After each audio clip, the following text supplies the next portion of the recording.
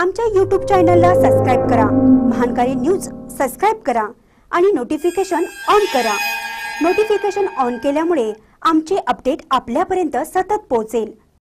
महाराष्ट्र बस बंदचा सीमा भागात फटका प्रवाशांचे हाल. निपाणी आगाराकडूनही आंतरराज्य सेवा बंद वडाप व्यवसाय तेजीत. महाराष्ट्र बस कर्मचाऱ्यांनी सरकारने केलेली वेतनवाढ अमान्य असल्याच्या कारणामुळे गुरुवारी मध्यरात्रीपासून बेमुदत बंद पुकारलाय. त्याचा फटका कर्नाटकातील सीमा भागाला मोठ्या प्रमाणात बसलाय. बस वाहतूक बंद असल्याने प्रवाशांच्या अतोनात हाल होत आहेत.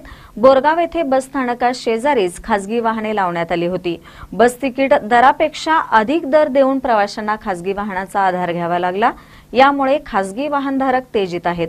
आंतरराज्य वाहतूक बंद केल्याने निपाणी आणि चिकोडी आगाराच्या गाड्या फक्त बोरगाव पर्यंत आणून प्रवाशांना सोडत आहेत. त्यामुळे महाराष्ट्र राज्यात जाण्यासाठी प्रवाशांना अधिक पैसे मोजावे लागत आहेत. महानकरे न्यूजसाठी बोरगावहून शिवाजी भोरे.